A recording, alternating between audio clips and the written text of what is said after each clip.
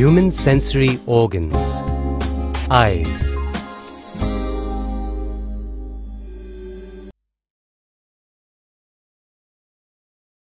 How do we see things around us? How do we hear different types of sounds? How do we tell apart a bad odor from a sweet fragrance?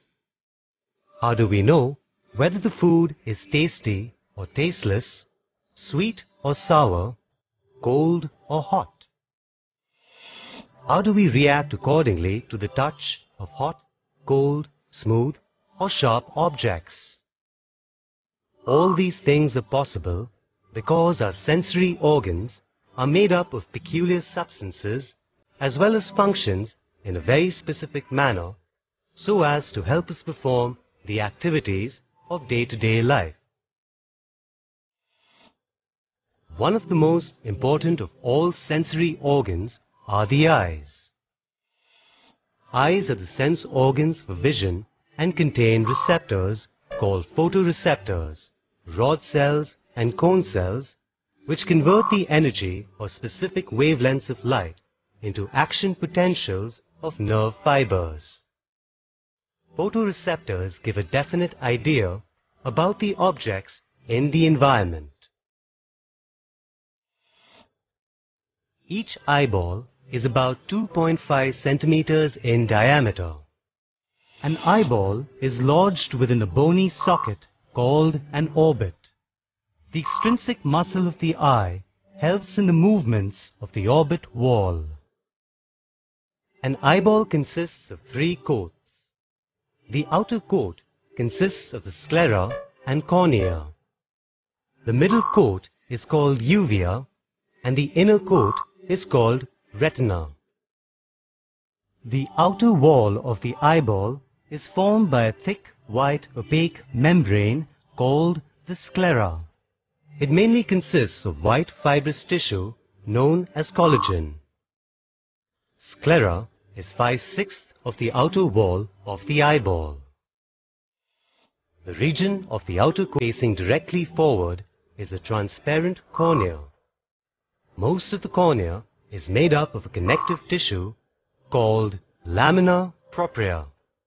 It is one-sixth of the outer wall of the eyeball and has no blood vessels or lymphatics and receives nutrition from vessels around its periphery.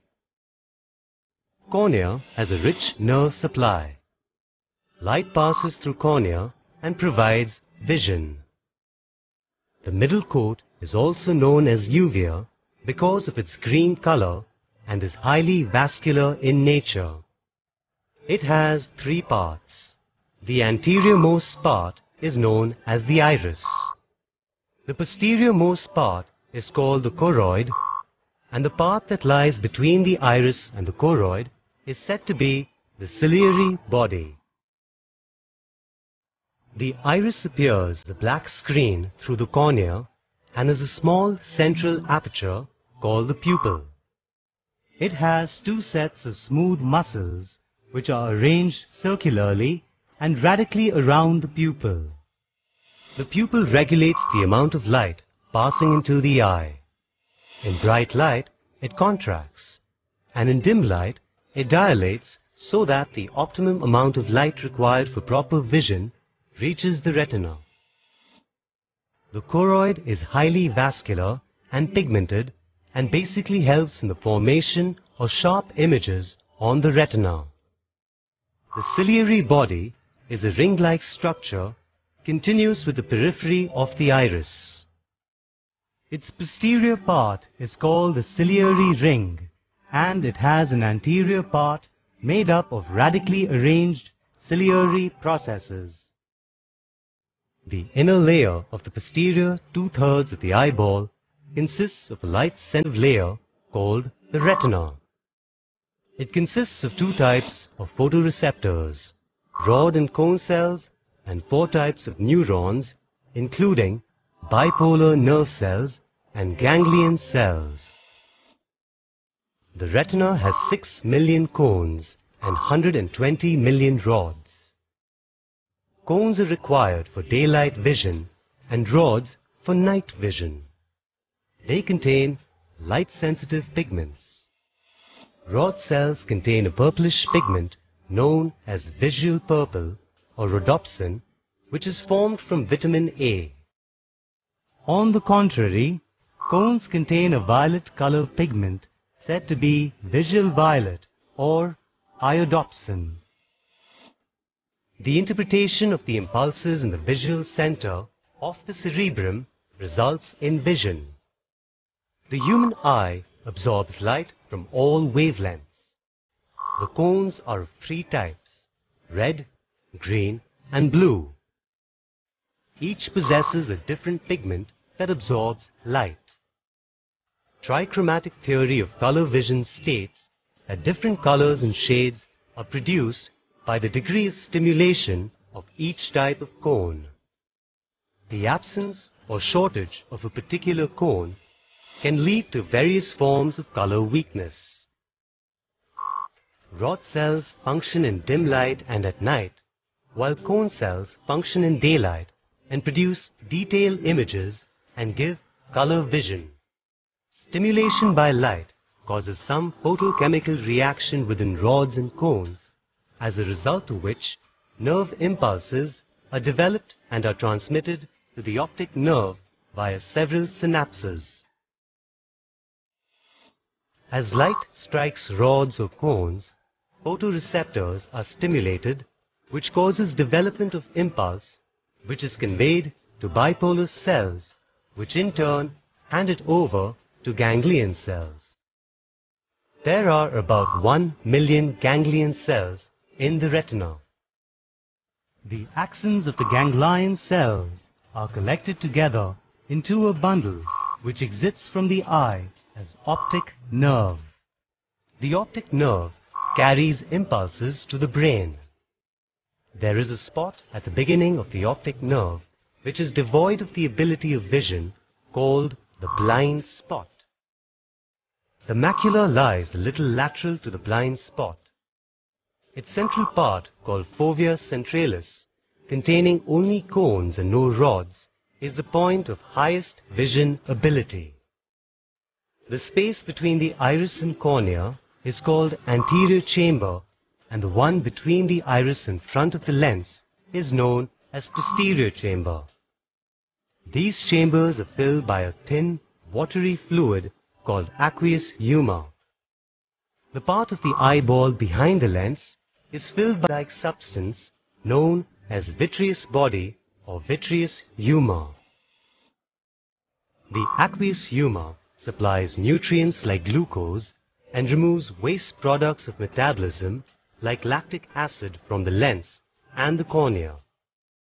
Due to the constant pressure of aqueous humor, the eyeball remains rigid and its optical system works properly.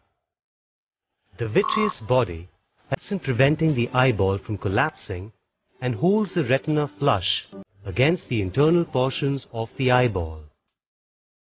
The vitreous body does not undergo constant replacement and is formed during embryonic life and is not replaced thereafter. A biconvex transparent lens is present in between the iris in front and the vitreous humor at the back. It is encased by a capsule which is suspended from the ciliary body by the suspensory ligament of the lens. Suspensory ligaments are attached with the ciliary body at the lateral ends. The lens is made up of ribbon-like transparent fibers arranged in concentric lamellae. When the ciliary muscles contract, the tension of the suspensory ligament on the lens eases up and as a result the anterior surface of the lens bulges. Accessory visual organs include extraocular muscles, eyebrows, eyelids, conjunctiva, and lacrimal glands. The conjunctiva is a thin transparent membrane that covers the inner surface of the eyelid and the anterior part of the sclera. The upper and lower eyelids shade the eyes during sleep, protects them from excessive lights and foreign objects, and spread lubricating secretions over the eyeballs. The eyelashes protect the eyeballs from foreign objects, perspiration and the direct rays of the sun. Lacrimal glands are situated between the socket and the eyeball at its upper and lateral part. They produce a fluid called tears. Tears wash away many irritants that may fall on the eye. They contain lysozyme which can kill bacteria and act as a disinfectant. The working of an eye can be compared to that of a camera. Light reflected from an object enters the eye through the pupil. The iris controls the amount of light passing through by controlling the size of the pupil. The rays of light converge as they pass through the aqueous humor, lens and vitreous humor and finally focus at the retina, forming an inverted image of the object. The muscle of the eyeball move the image where the vision is sharp and the lens make adjustments to bring a sharp focus on the retina. The inverted image is then picked up by the optic nerve taken to the brain where it is severed and finally an upright image of the object is perceived by the individual. When the visual fields of both eyes overlap, it is known as vision. It provides a large visual field and forms the basis of stereoscopic vision. Stereoscopic vision is mainly found in predatory animals.